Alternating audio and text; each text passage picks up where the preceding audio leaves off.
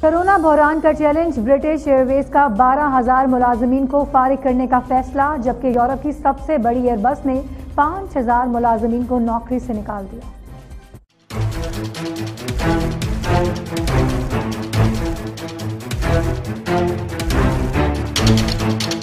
मुआशी बहरान के बायस British Airways ने 12,000 मुलाजमीन को फारिग करने का फैसला किया। कोरोना की वजह से एयरलाइन मुआशी मुश्किल का शिकार है। ऐसे का ऐलान ब्रिटिश एयरवेज के मालिक ने किया है। गुजशत हफ़्ते एयरलाइन ने छत्तीस हज़ार मुलाजमीन को आजी तौर पर मुतल किया था जिनकी तनख्वाह का अस्सी फ़ीसद हुकूमत अदा कर रही थी।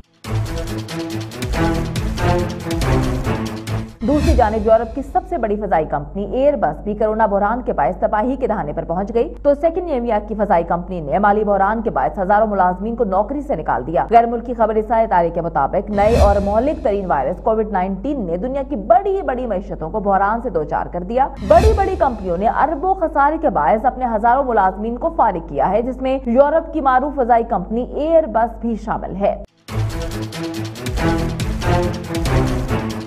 रिपोर्ट के मुताबिक एयरबस को साल की पहली चौथाई के अख्ताम पर चार सौ इक्यासी करोड़ यूरो का खसारा हुआ जिस, जिसकी वजह वायरस का फैलाव रोकने के लिए सफरी पाबंदियाँ हैं। रिपोर्ट्स में बताया गया कि एयरबस का मुनाफा पंद्रह इशारिया दो फ़ीसद कमी के बाद दस इशारिया छह अरब यूरो हो चुका है जबकि सेफ्टी नेविया की फजाई कंपनी ने सफरी पाबंदियों के बायस माली बहरान का शिकार होते ही अपने पाँच हज़ार मुलाजमिन को नौकरी से फारिग कर दिया है।